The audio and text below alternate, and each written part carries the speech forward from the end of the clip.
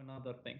But I would like to just give start off by telling you how my story is related to designing business models and my journey, and then I will tell you uh, and towards what types of things you want to avoid and what types of things you want to accommodate. Um, now, when I started, I started. Uh, I didn't have much job experience. Um, I came back in 2013 to Bahrain, and I decided to do a model for virtual medical consultations. Now, we got it down to we we we got it down perfectly. We dotted the i's. Uh, we were even one of the first to pilot an insurance program to cover doctors practicing medicine online. And now this was in 2013. My first challenge was that when I went to the Ministry of Trade, they said, no, this is a Ministry of Health related issue. I went to a Ministry of Health and they said, you have no doctors, go back to the Ministry of Trade. Now, back when I started, there's no eco, there was no ecosystem. It was at the start of the ecosystem, the support system for startups. Um, so there wasn't much change into accommodating technology um, at the time. So this is something that is added value to, to you yourself. Um, but I decided to start anyway. Um, I hired a firm, they established the company, everything was good. But the problem is when I went to my customers and I said, this is what I have, a holistic solution that will transform your business and the way you work as medical practitioners, I they come to realize that this is something they don't they didn't comprehend was not accepted at the time here in the area. Um, and what happened was they were asking me the questions, but they were asking me wrong questions. Um, instead of asking me how do I sign up, what is the cost, so basically my revenue model, they were asking me who built the platform. Um, and because we built it and we designed it, uh, I would say it was myself and my team. Now, the problem here is they were not interested in using my platform. They wanted to build something of their own. And this was a very big challenge for me because I was trying to push something yeah. and they were trying to give me back something else that I did not want to sell. And I did not even consider at the time. Um, but what I then realized is that if I wanted to keep a business sustainable, I would need to generate multiple revenue options. That being said, a few months in, closely towards a year, I decided, you know what? I'm running out of cash. And this is something I need to do. I have the ability, I have the power. Let me go ahead and do that path. And that's when we started developing for customers. Okay. About 18 months in, we I was still stubborn. We still had struggle trying to convince the region of this medical platform. Um, what happened was we then realized, you know what, it's not profitable. I then realized in order for me to become a profitable business, I would need to set aside my wants and put in front of me my needs, yeah. right? So I wanted this idea to thrive. But then I realized that it's not the idea that is profitable it's a business. Yep. so that's the that this is what every time so over the years I, I meet with startups on a daily basis and i tell them if a business is not profitable then it's defined as a charity. So, so, so if, if it does not generate revenue then it's defined as a charity um, or a non-profit. But but coming back to that we put that aside and i said you know what we're not getting any progress. No one's trying to understand. It's taking too much for me to just explain the idea. Yeah. Then why don't I just do this and see where this takes me? I have the team. I have the experience. Um, I didn't get, I didn't get experience with working with other organizations. No, I got it the hard way because I was the one trying to struggle and get that experience myself. So if this option would fail, I'll go try the try another option. And it was persistence that made put me through. But at the end of the day, it was my stubbornness that held me back. Now, now we started taking that path. With time, uh, we gained more experience. My team grew, and I saw that this side was the profitable side. But what I then realized that my passion was not for medical technology. It was to solve the challenges that people face and to bring in innovative solutions and design something like that. Yeah. So across the years, we've we've become the go-to for things kind of out of the box. If you if you have if you have an objective but you don't know how to get through it through technology or enhance it or streamline your workflow through technology, this is where we come in place. Yeah. And because of the experience we have on multiple projects, and some of them are not um, standard in nature, uh, that we, we, we, we, managed to put together inside and out how different businesses because I uh, because in my case technology is not an industry. It's horizontal. Every industry has technology. Banking and finance construction retail. There's the, it's so it, it marks across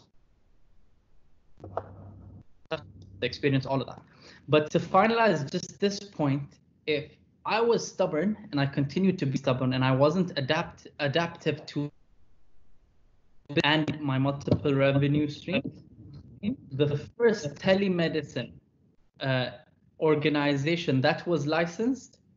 Um, see, I was saying, so if, if I was if I if I continued to remain stubborn and I wanted to push my idea into the market and not identify the difference between what I want and what I need, then the biggest struggle would have been that today, to the end of 2019, was the first telemedicine licensed platform. So I would have had to push and struggle with no revenue for seven years until I can actually get this idea to market where people comprehend. Because there's a lot of liability in the medical world. Even if people like it, they're like, Are you licensed? And I started even before the, the Nahra organization was even established. Yeah, yeah. So so so so there's a big timing is a big position in in coming into the market with a business model and revenue streams. So what looking back, I just want to highlight that my experience did change, right? But what made me successful was not the ideas, was not the stubbornness, was not the persistence, but it was my adaptability and acceptance to see opportunity, utilize what I currently have, and not and not allow it to limit what I need and take it to market. Like an example for this, especially with new business startups, I see this a lot today that a lot of people come in and say, a lot of people come in and say, okay, you know what? I'm going to get this. And once I get this, then I can only sell. Once I have a team, I'll put something together. I started with no team. I started with just me going into the office. I started at home, then I moved to the office. When I was in the office, I did not, I had zero work. I had zero work. I was a salesman. I had zero work. And when sometimes I'd, I'd have nothing to do after 12, but I would just sit in the office until 5 just in case somebody calls. You know, it was only four months after I got the office, I hired my first person. Okay. Right? I've been doing this for over, now I'm in my seventh year, right? That's a long time, but I genuinely, what it has taught me is not only patience, but there's a big difference between rapid growth and sustainable growth. You, your model is not an overnight model, right? Your model, if if if you see if you see no change in a week, if you see no change in a month, that doesn't mean your idea failed, yeah. right? It just it just needs time to mature. You need you you need to genuinely understand that that adaptability is key, but you don't adapt every other week. Yeah. Right. You need to have your core value you need to take that opportunity and then from that you do ad hoc services that will complement the existing model you have. Yeah. right? Now the problem the problem i also faced was that there was a lot of feedback from people right? Mm. so this is what people don't tell you. This is what the books don't actually tell you. This is the actual real life example. When you take something to market every single person will have an opinion yeah. Every single person will have an opinion, regardless of how successful he is, or regardless of how, you know, inexperienced he is. I just want to say that don't overcredit his opinion. Mm-hmm. Right? This is your idea. The only person I look for me, I don't gen, I genuinely don't believe in competition because two people, even though they say they have the same ideas, they're they're not identical. The implementation is a big key yeah. right? So when you come to market and you they, they will take two different paths, right? They will compete, but they're not the exact same businesses. They're not two of the same businesses that offer specifically the same thing, right? So when co- coming back to coming back to understanding that and taking it to market, putting their opinion. Don't change your idea because you feel that people, you know what, somebody gave you a good idea. You think there's more value in that than the path you're taking, and you decide to change tomorrow. Mm-hmm. Because if you continue going through that path, one, you will not have your idea. Okay. Two, you're you're going on ideas that have no justification. They're just opinions. Even within technology, it's if it's something certain functions, certain limitations, right? In, in technology, so in development, there's a term called bug or feature, right? So sometimes when we build something, okay, and and uh, something else happens, or there's something that, that you would think you developed, but then naturally happens, and when the customer or yourself see it, you realize, was this done by mistake or was this done uh, as a feature? So is it a bug or is it a feature, right? And if I could use that analogy into the actual business model, is that not everything is justified, right? You, you go in, you go in, and things will change, right? You turn, you you you you sell your features, and you turn your bugs into features. So whatever that naturally happens along the way to your benefit, you utilize and you take advantage, right? Like I'll just give you an example. Like we're a development house. If I list the services that I can develop, they're endless. But if I go to someone and say I can develop X, Y, and he says I can develop A, if I have the capabilities of doing it, I'll say yes, I will develop A, and I will not say no. I'm, I stick to X and Y unless regulation permits me uh, then that's that's where I'll stand. Be adaptive. Your journey within is a long, long journey of change, and and when you're trying to validate initially, right? Everyone will tell you do a business plan. Yes, right. So so when you look at a business plan, there are different things you need to look at, like the streams of revenue, your channel partners, the, the, the general idea, right? don't look too much onto the execution of the plan.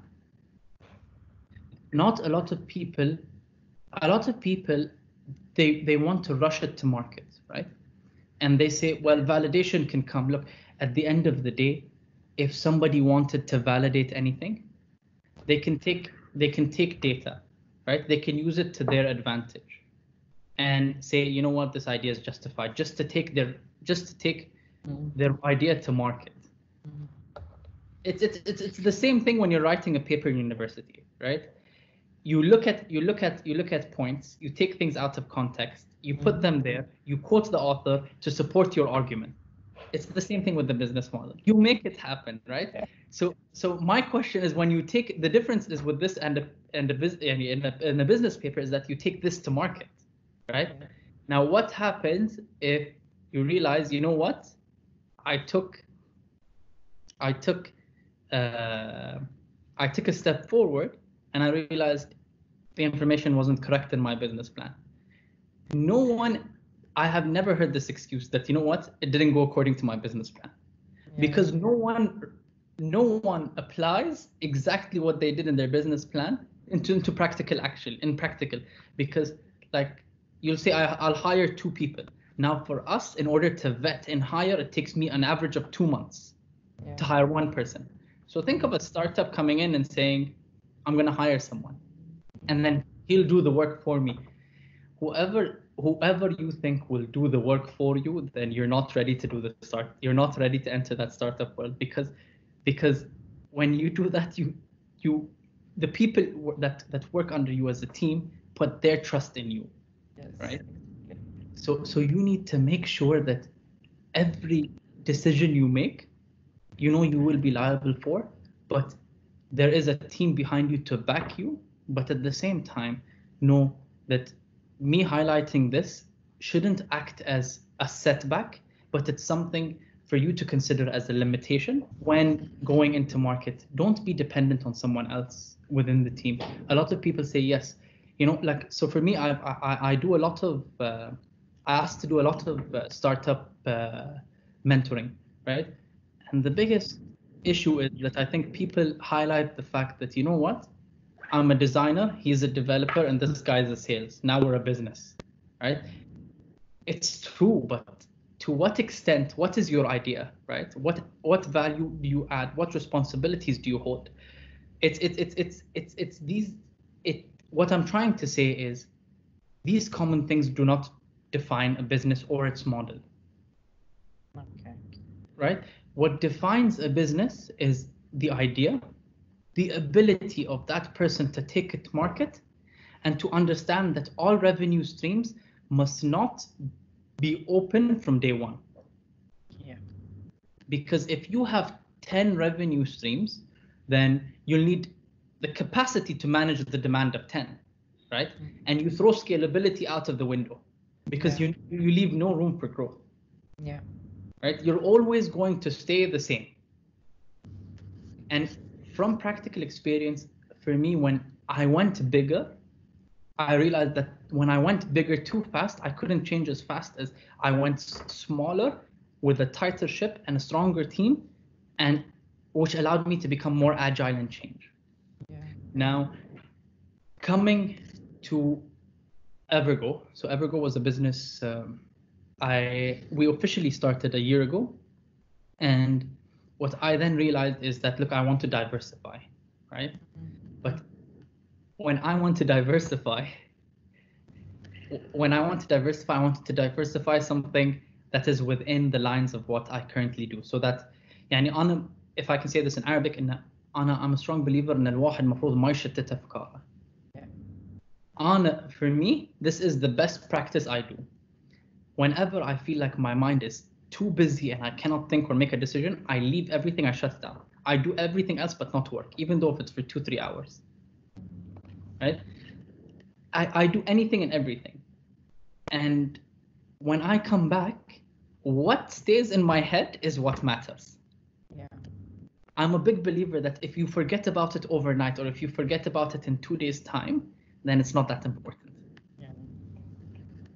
Like to the actual model and the position you take. That's why, like for us, for me, especially with Evergo, so now oh. it's our experience. Because even seven years down the line, I it, it was a completely new experience for me. So I started Evergo because I realized resources and the model we put into place i have strength in experience and i already know my team i took people aside. We designed the model and it took us nine months to put together the technology right? I took it to more we decided that we're going to raise raise investment. Uh, so so I, I took the value of the team okay and which would also reduce and i funded the development of evergo through MannaiTech which is the first startup. Mm-hmm. And when before going to market we raised money from angel investors. I said look i have the experience i have the team i have the product. Now i need investment to take it to market. We were one of the first to get investment during covid right? Now the only issue is okay I, I laugh at this every time. So this is me around 13 months of hard work to this point and then you have covid so evergo is a booking so evergo is a booking aggregator. So you book anything. So you want to book a test drive you want to book an appointment at the bank you want to book a saloon you want to book a clinic you want to book at the best. We built an engine that is universal across industry which is something the first of its kind right? So we take it to market we have the money i have i ticked every single box in my plan hmm. right? And then covid hit. Yeah. and on top of that everything shut down and even the people you want to go to closed and Yeah. by law you're not allowed to leave the house now i don't know how, I, I don't know how this is something anyone could have foreseen but i don't know how it it, it, it was it, it hit me as a shock because you know all this all this work and this is and i had it down to like and i dotted the i's yeah. and what do I do now? I need to pivot. You know, احنا للحين احنا للحين ما سمينا we pivoted. yeah. يعني this is this and here I realized that you know what we needed to be agile, right? So what our pivot was was that you know what? We have the power of the availability, the booking, the workflow for the businesses to manage, right? Because it, it works under multiple employees. Um, and what happened was you bring in, you bring in, uh, we brought in, uh, because I had the power of like the, the technology behind me. So I introduced a video conferencing service, right? So we we brought in our own video communication. We deployed it on our servers. We built our workflow around it. So now instead of some having a booking engine, we have something like Eventbrite and Zoom put in together. People can book appointments and the calls actually happen on Evergo. And then this is when I realized, okay, you know what? Everyone's doing this. Okay, so now I went from something completely new to something that everyone's doing. And and it only worked, I'll tell you why it only worked, because we had the workflow to manage the facility. So we were able to manage the so every every staff member could be at home and the business would operate as usual. So there was a, approval workflows for people to accept. Now that was not the only thing. When it came to vendors, to bring people on board, I realized, you know what? Everyone has the same vendor. So me coming and saying, hey, you want to join Evergo? They're saying, okay, why don't we join X? Why, already on, we're already on Y. And the, the customer doesn't want to enter three apps for the same vendor. So I decided, you know what? Let's do something different. I went back to being the door-to-door salesman. And I, be, I went to the international brands and I knocked on their doors. I said, listen, you're, you're at home, we're at home. How about we use this opportunity to expand your customer base and your brand awareness?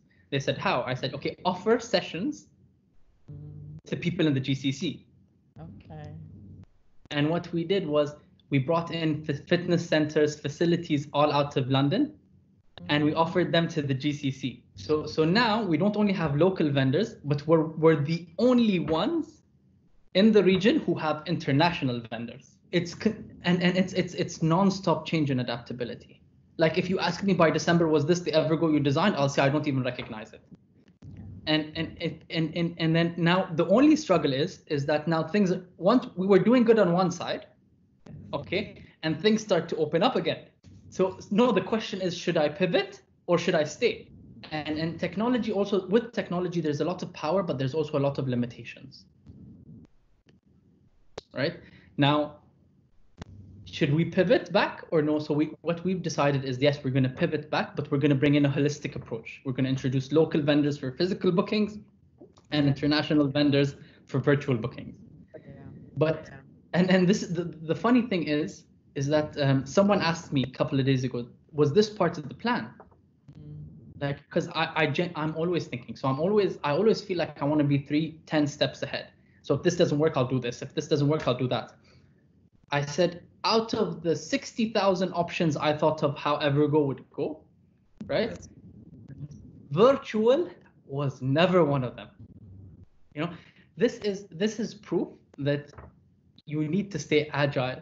You need to understand where what your customer needs, whether they're users, whether they're businesses, and you need to understand that monetization does not come from the start. Right? Monetization you can put in the the general revenue streams, but monetization only will only come when you have the ability to show your customer the value. Yeah. Because nobody will put a price at something that has no value. Yeah. Even in retail Right? You will not buy something بدينار إذا أنت تحس إنه ما يسوى. Yeah. So you need to show them that look, you can bring value to the table. And when you bring value to the table, you then negotiate how much you want. Right? A lot of people say, you know what, with subscription models, I'll charge $20 a month. It's nothing. But you're not the only $20 a month I'm paying. I have 20 other subscriptions. Right? Yeah. So that's $400 a month for me. So when you come to me and tell me, you know what, $20, I'll say, no, I already I already have 400. I don't want to pay another $20. But when you come and say, you know what, this is worth the $20 I'm putting in. Here's 20, here's 30, here's 40. So I think the biggest takeaway of what I want to explain is that when you're coming, I, I'm, I want to look at it from a bird's eye view. When you're coming to designing a business model, think of a backup plan, right? Validate that backup plan because what COVID has taught us is that, you know, regardless of years of preparation, you know, anything can happen that will that will change the entire, you know, game. Uh, but but but validate it only to a certain extent. So when I was when I started, I wanted everything to be perfect. Yeah, I wanted everything to be perfect, and I stuck. And I I went to to. Uh, I, I rebranded. Sorry, when I rebranded, not when I started. When I rebranded, uh, I wanted everything to be perfect. Oh, and I, on a tapped, on a tapped, finding that perfection. And uh, the person I was working with said, "Look, I'll بعطيك قاعدة reach 70% of being contempt once you will never get 100 reach 17 you're fine and i applied that to everything so if it's something i can live with fine move on you know there are more important things the color blue or green will not change the entire game all right i'm not coca-cola yeah. but but at the end of the day when i started don't think you need anything to start my only cost was $60 i bought a domain i only used it for email i went to google i put coming soon and I started emailing everyone saying, "Hey guys, I have this service. Do you want to buy it? It's going to be ready in six months' time." And it wasn't even ready. I had the idea, but I needed the money to fund the development. Um, and that's how we started slowly. And what I did, like it, and and and not everyone, not everyone accepted. So when the first person, the first service provider was like, "This is something I'm interested in. Let's talk." We talked. We made an agreement. I went back to the guy that said no. I said, "Look, hey, this supplier is coming in. Are you sure you don't want to go in? And then that brought me back into the table. Yeah. You know, so it's it's it's it's it's it's it's, it's the same thing. This is how I'm getting now through the international brands, right? I only needed one or two. So when I knock at the door, I say, hey, listen, I'm working with X, Y. They're already in. They're benefiting. Look at their numbers. Do you want to work with? Do You want to work with me or no? It's it's your opportunity because I generated value not in financial currency, but I generated value and towards contributing back to them. And this is something that builds relationships between your customers and suppliers. It's a big psychological game, right? So while I was doing this presentation, they were telling me, yes, we just sold the franchise to them. And I said, so I would go to the, the other company, I'd say, hey, look, you know what, this might help you sell franchises and brand awareness. You know what I mean? I know that they're, they're, they're, that is their aim from the campaign they're doing with us why don't you get board? And they're like, yeah, this is something I need to do. And even one of the biggest, the funny thing is, one of the biggest um, uh, we were we wanted to work with. We did the demo. We worked every we, we worked with them. Everything was positive. After that meeting, went dead silent. They don't reply to my emails. They don't reply to nothing. So I was like, you know what? Move on. It was a long shot anyway, right? I come back around two weeks later while onboarding others, right? Mm-hmm. I get an email saying, hey, listen, we want to work with you. These are our terms. We're fine. Agree and let's move forward.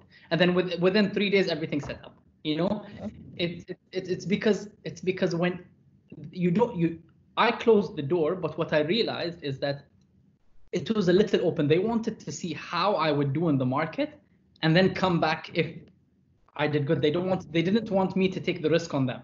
Yes, what but what other people usually do is that they would be persistent. But try, but what if I give it to you for free? What if I give you six month free trial? What if I never took money from you?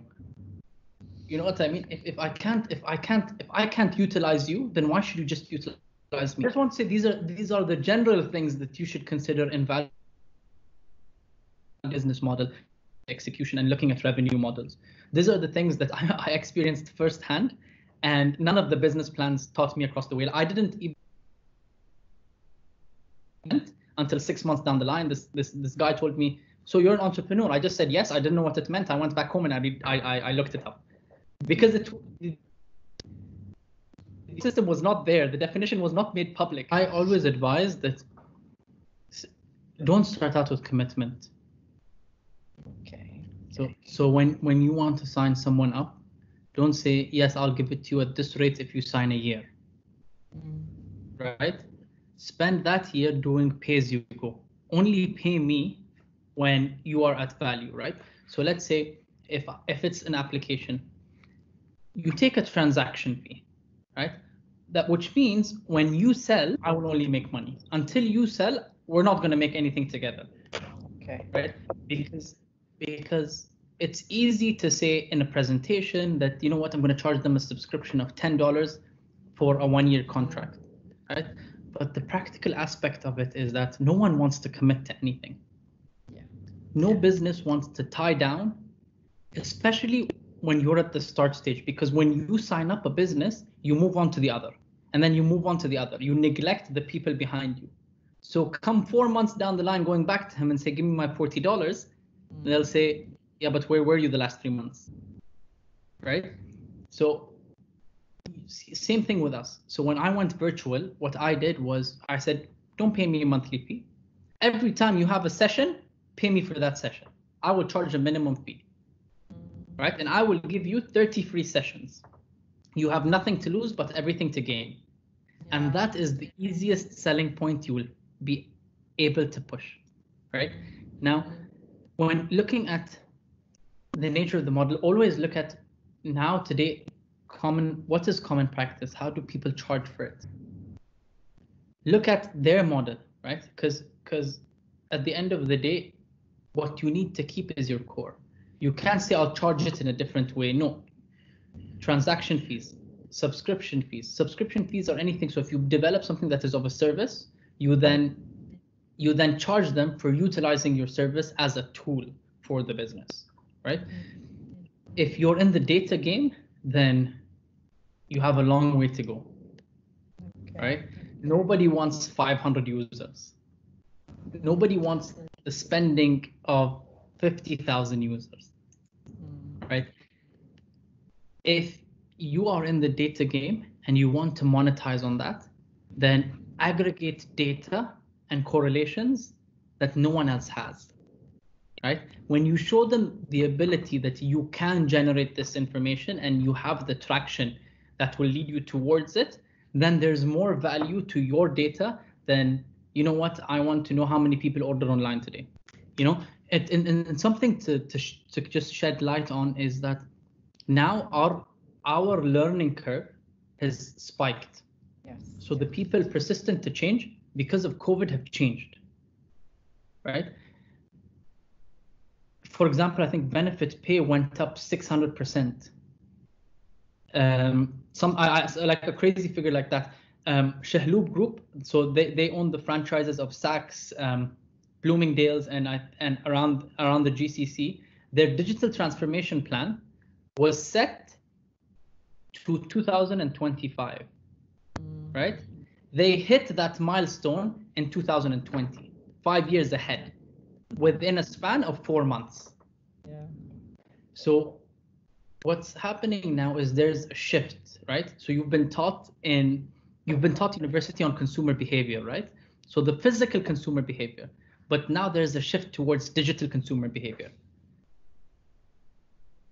Insights on something like that is not available in the region. You know that that then then that you can monetize from day one. But if you come and say, I'm gonna see how many people buy milkshakes in Bahrain or the GCC, I'll, I'll understand something very specific or the food consumption in the GCC. Tens of years, people, and there've been te- the last tens of years, people have been compiling that data. You're not bringing even if you, if even if you have a more innovative innovative way of bringing it to the table, at the end of the day, you'll have the same end result. So don't try to put a price tag on that. Yeah. So look at how the market practices and then reduce it to make it a win-win situation between you and your potential customer. Mm, Once you show value, then you monetize, then you lock in, then you say, you know what, you've been doing this for a year, your customers are used to me. You can't let go, mm, right? So if I double the price, you're fine. And this is it, it, it's the harsh way of actually saying it, but you know, at the end of the day, you know, and it's it, it, it you have to make sometimes decision decisions in the business that not only affect yourself but affect the people behind you and the customers you're supporting. It's not always fun and games. Like it's it's it's it's six months of down for that one day of up. It's more of a question that Yani, you're going to hear it and Yani, you basically say, "Oh my God, not this again."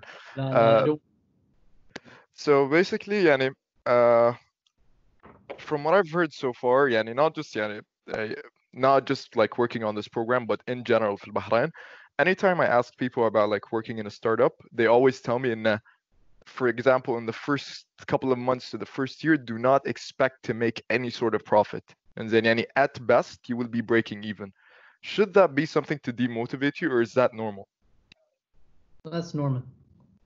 Yeah, and you look at the end of the day, right? There's no, how I said, startups are not an overnight success, right? If, if you're an overnight success, then you're you hit the jackpot, right? They're long and long and effective growth, and it's slow growth that determines value, right? Now, it, that's why they say startups are struggles because we don't have the money. You know, that's the, that's the, that's the number one reason startups are a struggle because we generally don't have the money. You know, and, and we're going out there to market to generate that revenue. But what I want to add is that you're not the only one on the board. Like if you look at Facebook, if you look at Instagram, they were not overnight successes. If you look at startups that are Slack, you might, you know, you might have discovered them now, but they've been operating for 10 years. I'll give you an example.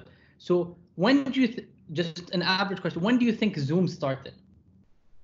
Uh, I've seen. I think I've seen like uh, charts comparing Zoom, Team, uh, uh, Teams, and Skype, and I think I'm pretty sure Zoom started back in like 2010. So think 10 years. 10 years, right? Yeah. So it took them 10 years for you to use it today. Yeah, so it's like uh, I I get what you mean.